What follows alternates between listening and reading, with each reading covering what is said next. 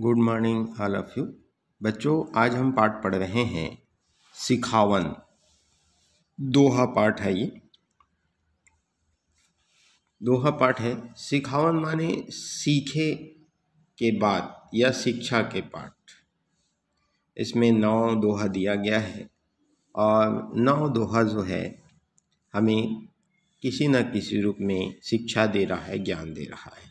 या आ, जो बड़े बुज़ुर्ग हैं, उनके अनुभवों को पीढ़ी दर पीढ़ी ज्ञान का भंडार माना गया है और उसी को इस पाठ में संकलित किया गया है। पहला दोहा है, का होगे के रात है, घपटे है अंधियार, आशा और विश्वास के चलते दिया बार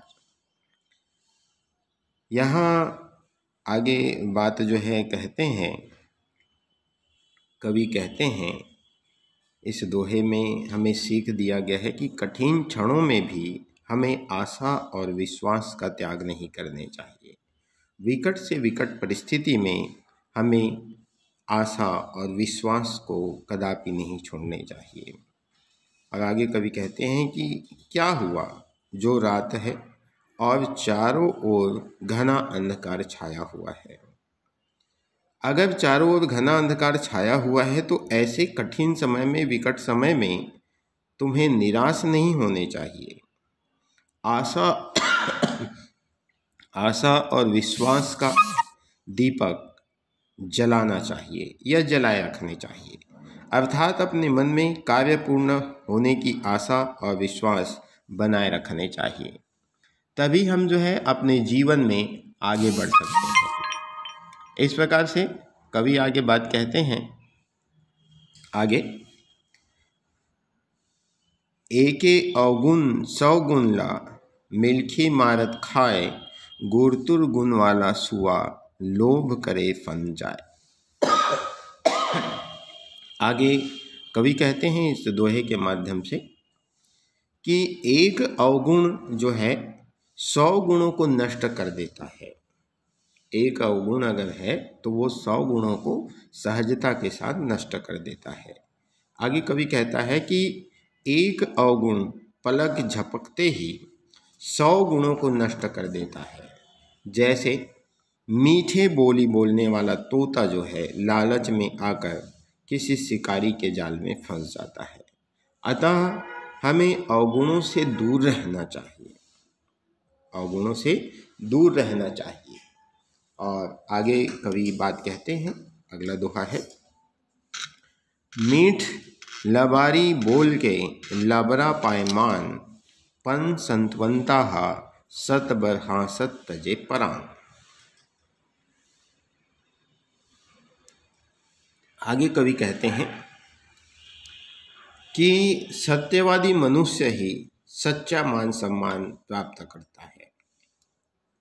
लेकिन आगे यह भी बात कहते हैं कवि जो है, झूठा मनुष्य भले ही मीठा झूठ बोलकर सम्मान प्राप्त कर लेता है, किंतु सत्यवादी व्यक्ति, किंतु सत्यवादी व्यक्ति तो सत्य की रक्षा के लिए हँसते हँसते अपने प्राणों को त्याग देता है। वास्तव में वही सच्चा व्यक्ति जो है, सच्चे सम्मान का अधिकारी होता है। और आगे बात कहा गया। घाम छाँव के खेल तो होवत रही थे रोज, एकर संसो छोड़ के रद्दा नवा तय खोज। कवि कहते हैं, इस दोहे के माध्यम से कि मनुष्य को सुख दुख के फेर में ना पड़कर अपने लिए नए मार्ग की तलाश हमेशा करते रहने चाहिए। कवि कहते हैं कि धूप और छाया तो रोज ही आती जाती रहती है। परंतु इनकी चिंता छोड़कर तुम्हें नए रास्ते की तलाश करनी चाहिए। अर्थात यह कहा गया कि जीवन में दुख और सुख तो आते ही रहते हैं, पर मनुष्य को इनके फेर में ना पड़कर आगे बढ़ने के लिए सदैव प्रयास करते रहना चाहिए। हमेशा जो है प्रयास करते रहना चाहिए। आगे बात कहते हैं। लाखन लाखन रंग के फूल थे फूल मितान महर महर जे नहीं करे फूल अभिरथा जान। आगे कवि कहते हैं इस दोहे के माध्यम से कि गुण गुणहीन मनुष्य के जीवन को व्यर्थ बताया गया है। कवि कहते हैं कि आ, संसार में लाखों लाखों रंगों के फूल खिलते हैं। किंतु जो फूल जो है अपनी सुगंध नहीं बिखेरता, उसे व्यर्थ ही जाना जाता है, व्यर्थ ही माना जाता है। अर्थात ये बात कहा गया कि गुणहीन व्यक्ति का जीवन व्यर्थ है, इसलिए गुणकारी होने चाहिए व्यक्ति को, ज्ञानवान होने चाहिए।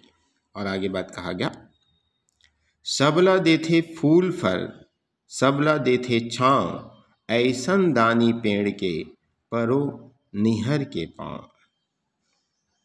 आगे बात कहा गया है। कवि जो है परोपकारी व्यक्ति को पूजनी बताए। जो परोपकार के लिए जीते हैं, ऐसे व्यक्ति की हमें पूजा करनी चाहिए, ऐसे व्यक्ति को हमें प्रणाम करना चाहिए। कवि कहते हैं कि जो वृक्ष सभी को फूल और फल देता है, जो वृक्ष जो है सभी को फूल और फल प्रदान करता है, सभी को छाया प्रदान करता है, ऐसे दानी पेड़ को झुककर प्रणाम करना चाहिए। अर्थात परोपकार व्यक्ति का सदैव ही सम्मान करना चाहिए। परोपकार व्यक्ति का सदैव हमें प्रणाम करना चाहिए। और आगे बात कहा गया तय किताब के संगबद्ध, गंगा बारू मीत, एकवे बलमा दुनिया ला, पक्का ले जीत। आगे बात कहा गया, इस दोहे के माध्यम से कवि बात कहते हैं कि पुस्तकों का महत्व क्या है जीवन में, वो बताया गया है। कवि कहते हैं कि तुम किताबों के साथ मित्रता का संबंध जोड़ लो। किताबों के साथ मित्रता का संबंध जोड़ लो। इन किताबों में भरे ज्ञान के भंडार के बल पर तुम एक दिन इन किताबों में भरे ज्ञान के भंडार पर, भंडार के बल पर तुम एक दिन संसार पर विजय प्राप्त कर लोगे। अर्थात पुस्तकों को पढ़कर सफलता प्राप्त कर सकते हो। और आगे बात कहा गया है, ठाढ़े टाढ़े नहीं मिले, ठीहा ठिकाना सार, समुद्र कोत नदियाँ चले, दौड़त पल्ला मार। आगे कभी बात कहते हैं कि प्रयास करने पर ही मनुष्य को सफलता प्राप्त होती है। इसलिए जीवन में हमेशा किसी कार्य को, किसी कार्य में सफलता अर्जित करने के लिए हमें प्रयासरत होने चाहिए, प्रयास करने चाहिए। अर्थात कवि आगे पद कहते हैं कि एक ही स्थान पर खड़े रहने पर मनुष्य को उसकी मंजिल, उसका उद्देश्य प्राप्त नहीं होती है। नदी भी अपनी मंजिल समुद्र तक पहुँचने के लिए तेज गति तेज गति से दौड़ती है। अर्थात यह कि मनुष्य को अपने लक्ष्य को प्राप्त करने के लिए निरंतर प्रयास करते रहना चाहिए। तभी कहीं जाकर वह जो है उनके प्रयास का सफल सफलता प्राप्त होगा, मनुष्य जो है। आगे बात कहते हैं, हे उच्छा मनमा, कहू पाए बर कछु ज्ञान, का मनखे चाटी घलो पाही गुरु के मान।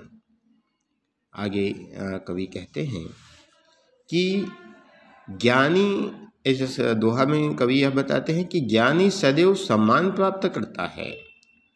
साथ ही काम के प्रति उत्साह के होने को भी महत्वपूर्ण बताया है। अर्थात, यदि मन में ज्ञान प्राप्त करने का उत्साह है, यदि मन में ज्ञान प्राप्त करने का उत्साह है तो मनुष्य ही क्या नन्ही सी चीटी भी गुरु का सम्मान प्राप्त कर सकती है। आशा यह है कि ज्ञानी चाहे कोई भी हो, सभी उसका सम्मान करते हैं। सभी उसका सम्मान करते हैं, ज्ञानी व्यक्ति का हमेशा सम्मान होता है। तो बच्चों, ये पाठ आपके समाप्त हो गए। धन्यवाद।